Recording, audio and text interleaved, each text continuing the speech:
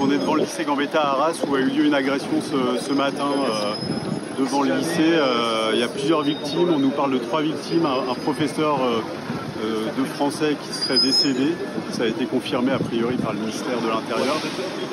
Un professeur d'EPS qui serait blessé, on, ignore si c'est grave ou pas, et un agent du lycée qui serait également touché.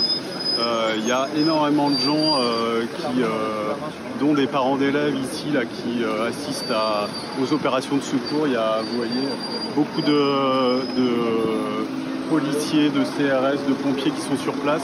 Et euh, voilà, il y a une grande fébrilité euh, devant le lycée euh, Gambetta Carnot à Arras ce vendredi midi.